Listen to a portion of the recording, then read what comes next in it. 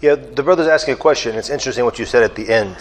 He said that many people who are born Muslims believe that it's enough, the fact that he is Muslim, that one day he will go to Jannah. Even if he's punished a bit, eventually he's going to go there, so it doesn't really matter if he prays and does good things, anyways.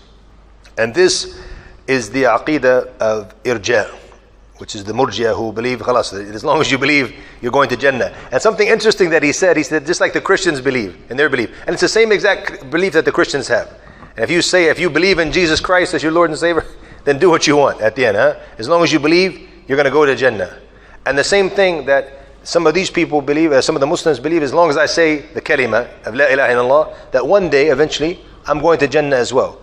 And this is any, any as some of the scholars, when they were asked, isn't La ilaha illallah the miftah, the key to Jannah?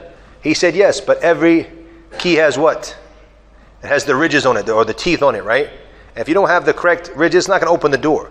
So, and it's not just that you have to know La ilaha illallah, understand what La ilaha illallah means, know the conditions of La ilaha illallah, and then you have to implement them. And some of the conditions that are, or, um, or, or that for us to benefit from our Islam is the issue of the prayer. The Prophet ﷺ, he made it clear this is the covenant between us and them, the salat. So whoever leaves it has committed an act of kufr. This is serious. It's the amud, the backbone of the religion. All of this stuff is for us to reflect. So it's not just enough. And from our iman, the true belief in iman as Muslims is that iman is made up of three components. It's made up of three components.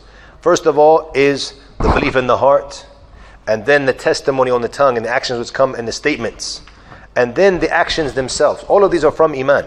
So it's not just enough to believe in your heart. You actually has to come up and show in your actions. And then subhanAllah, when it comes to taking the risk, if I were to say to you now, and la qadr may Allah forbid, but let's say there was a fire in the back, and the whole backside is on fire.